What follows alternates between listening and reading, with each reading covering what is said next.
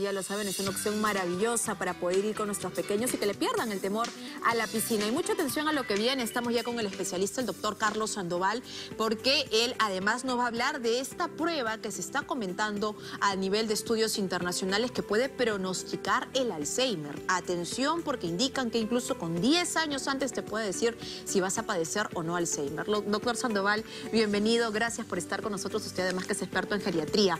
Cuéntenos sobre esto. Eh, ¿Qué te determina? La prueba exactamente? Bueno, muchas gracias, Acite, y feliz año a todos. Feliz año, doctor. A todos los televidentes. Mire, en principio, el Alzheimer es una enfermedad degenerativa del sistema nervioso. Es crónico y progresiva, de manera que no hay cura. Es una enfermedad que lamentablemente progresa. Y hay destrucción neuronal, destrucción neuronal. Entonces, ¿qué, qué ocasiona esa destrucción neuronal? El depósito de una proteína que se llama beta-amiloide. Las proteínas se juntan, se juntan, se juntan, forman unas placas inflamatorias que se llaman placas seniles, que fue lo que vio el doctor Alzheimer hace más de un siglo en un microscopio. Ya. Entonces, eso Ahora, con unos análisis de laboratorio que se dosan en el líquido cefalorraquídeo, que es el líquido que, que está alrededor de la médula y del cerebro, se puede detectar con 10 años de anticipación la presencia de esa proteína beta-amiloide y decir que esta persona va a desarrollar demencia. Ahora viene la cosa curiosa. Se puede diagnosticar el Alzheimer porque ya al tener elevación del, del beta amiloide alto puede decirse que tiene Alzheimer pero aún no ha desarrollado demencia. Ah, ya. O sea, no ha presentado los síntomas. Sí, ahora no significa, exacto, no ha presentado los síntomas de la demencia, pero no significa también de que de todas maneras 100% va a ser demencia.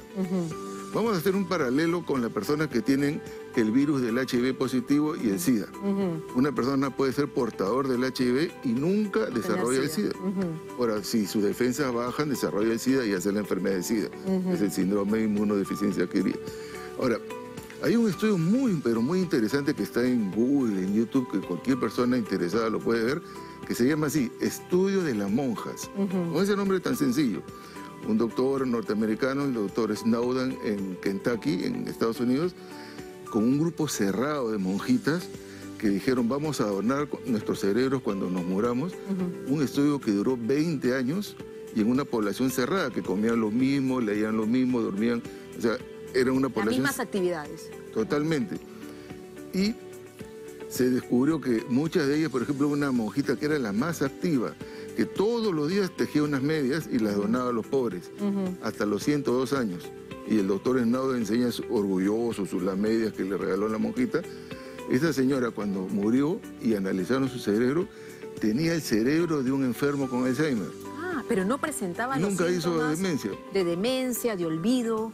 No. Era la más activa, se levantaba temprano, preparaba desayuno. ¿Y a qué se debe eso? Eso es lo que no se sabe. O sea, hay un punto de quiere como que usted tenga en una taza la cuchara que está así, en ese equilibrio, pero todavía no se cae. De repente se para una mosquita y se cae la cuchara. Hay algo que generalmente estos procesos suelen ser infecciones o problemas metabólicos serios. Le viene una infección y el paciente se hospitaliza y de repente ese equilibrio que estaba hace que se rompa el equilibrio. O sea, lo que nos está diciendo es que hay personas que pueden tener ya Alzheimer, que no saben que lo tienen y viven sin ningún tipo de problemas porque no presentan síntomas. Eso estoy diciendo.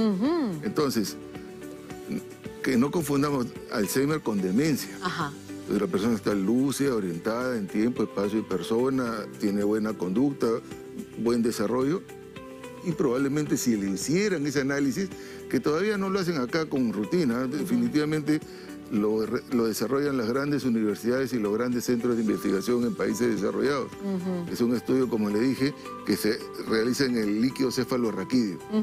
Ahí se puede determinar con 10 o 15 años de anticipación si la persona tiene Alzheimer y podría desarrollar demencia en el futuro, que es lo más probable. Si tiene la proteína alta, esa persona podría desarrollar la demencia, pero de repente Y ahora, por ejemplo, aquí en el país, eh, las personas eh, pueden ir y decir, oye, a un laboratorio, quiero que me haga este examen para ver si tengo esta proteína alta y ver si puedo desarrollar Alzheimer? no? es una proteína que se llama beta-amiloide o proteína, y, otra que también se llama la proteína tau, que no se hace en el laboratorio. No. El diagnóstico actualmente es clínico, Que, consiste en trastornos cognitivos, atención, orientación, cálculo, juicio, razonamiento. Ahora, con esto no quiero decir de que todas las personas que presentan olvidos van a tener demencia. Creo que usted y yo también nos olvidamos a veces. Claro, uno deja la llave en un lugar y dice, ¿dónde dejé mi llave? O el celular o el control remoto. Entonces, no todo olvido es síntoma o signo de demencia. Ya. Ahora, una cosa curiosa en consulta externa, cuando el paciente acude solo y dice, doctor, me estoy olvidando de las cosas, creo que tengo demencia, ese señor no tiene demencia. Ah. porque está consciente, generalmente. Y al que lo, a la persona que lo traen sus hijos, su esposa, su cónyuge, dice, doctor, traigo a mi familiar porque se está olvidando. Y dices, no, doctor, yo no me olvido nunca. Probablemente ahí sí ponemos más atención. ¿Qué, qué actividades, doctor, son claves eh, para que un familiar, por ejemplo, no eh, las personas que tienen aún a sus abuelitos vivos y, puedan hacerle esas preguntas y decir, no, esto ya me está preocupando, tengo que llevarlo al médico? ¿Qué, preguntas son claves o qué actividades? Generalmente la memoria inmediata.